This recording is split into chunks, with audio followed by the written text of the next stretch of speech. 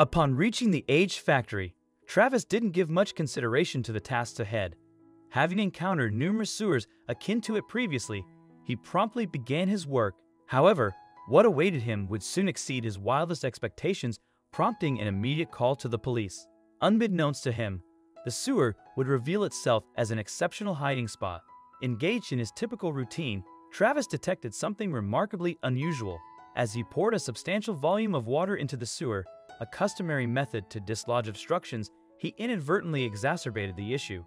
Instead of resolving it, the water level surged, prompting Travis to acknowledge his grave error. It swiftly became evident that an impediment obstructed the sewer's passage. The flow of water was severely impeded, and its appearance was anything but ordinary.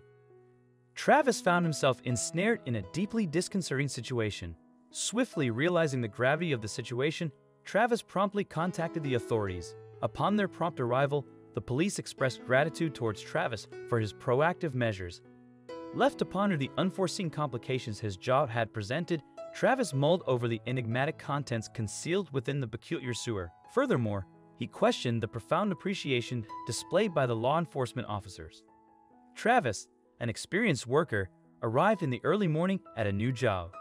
He was told there were some problems with the sewer. The sewer itself seemed very familiar since he had a lot of experience, but something seemed odd about the location.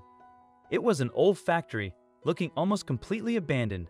The factory didn't seem to be still in production, and there were barely any lights on. Travis himself also didn't bring any company. After working all these years, he preferred to work alone. Looking back, he wished he had brought some company on this given day. Through the years, Travis had come to understand that a larger inspection was necessary. After all, there could be complications in the sewer that could lead to nasty problems. Travis walked around the factory and wondered for what purpose the sewer needed to be fixed. The factory was completely shut down, and Travis realized something odd might be going on. But being the professional Travis is, he stopped asking questions and started right away. With little need for a quick solution, he pictured himself taking it easy and still being done early. Travis started flooding the sewer with lots of water, a usual technique to flush out the problem. This is where things start to go south. To his surprise, the water doesn't return to the starting place. Was I wrong about this sewer? He asked himself. Then, the water finally arrives at the starting point, but the water seemed unusual. When it came back, the water seemed to be colored and had an extremely unusual look to it. Travis doesn't hesitate. He realizes he might need help from one of his coworkers, or at the very least, more equipment to look into this strange situation. Travis decides to leave the factory for now, takes his car, and drives toward the storage of his work. Soon, another complication to this mystery would occur. To Travis's luck or the thought, he ran into Evan, an experienced employee. He asked him for a few minutes, and Evan responded cheerfully, Sure, how can I help? His attitude would soon change. Travis quickly explained, and once Evan understood what place he was talking about, the expression on his face drastically changed. He then proceeded to leave the building with no attention to Travis at all. What just happened? Travis was stunned. What just happened? He tried to think of wrongs he might have done, but was certain about his healthy relationships with his coworkers. At the same time, he couldn't just ignore the alarming signals. He was determined to find out about what was going on, and this turned out to be the right thing to do. For the second time this day, Travis arrived at the factory. He parked his car and rushed toward the sewer. Travis couldn't help but feel annoyed as well. He wanted to be home by this time, but home wouldn't be on his mind for a long time. When Travis arrived, he saw the ribbons around the sewer being cut, and he quickly realized someone had been there.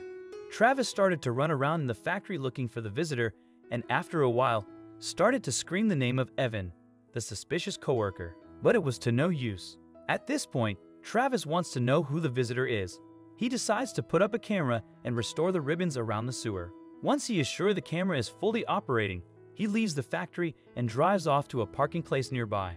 Once Travis arrives at the parking spot, he opens his phone to look at the live footage of the camera. Travis kept looking out the windows of his car to make sure he wasn't followed. It wouldn't take long before his patience would pay off. Strange behavior. The suspicious person was acting very strange. He used his spotlight to closely examine the water while he stirred around in it with his other hand. What in God's name could be in there? Travis asked himself. Once the man stops examining the water, he starts looking around the area. He uses his spotlight to make sure he sees everything like an experienced burglar. All of a sudden, he halts, and Travis comprehends that the man has stumbled upon the reinstalled ribbons and even noticed the camera. Without delay, the man takes off running. Would the police arrive in time? Travis opts not to gamble and swiftly starts his car. In mere minutes, he reaches the factory. Upon arrival, he catches sight, from the corner of his eye, of a black van hastily exiting the premises. What should Travis do now? Deciding to release the suspected individual, Travis resolves to return to the sewer. Armed with the necessary equipment, he intends to unravel the mystery once and for all. Hastily arranging everything, he is interrupted by the sound of multiple cars pulling up. It's the police. They swiftly enter the sewer and unearth a stone painting hidden within. Explaining that the water's impact on the painting caused a peculiar coloration, everything falls into place. The police express profound gratitude for Travis' discovery. Thanks to his timely intervention, they successfully apprehend the criminal before they could evade justice for good.